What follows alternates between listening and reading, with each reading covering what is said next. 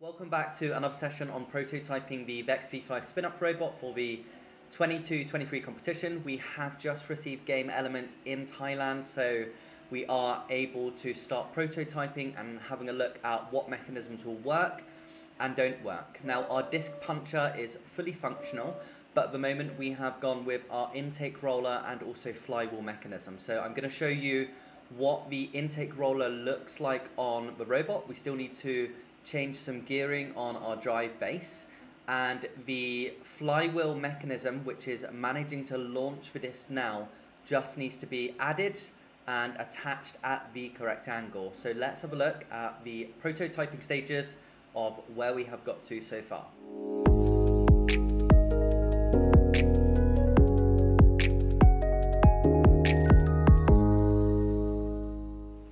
Design development for the Spin Up 22-23 competition, we have our base built right now.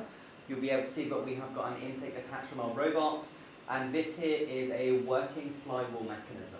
Now this is going to need to be positioned at the correct angle, but this is managing to throw the disc far enough. So if I start the intake motor for this, we'll be able to see that when I put a disc in here, it does launch it far enough.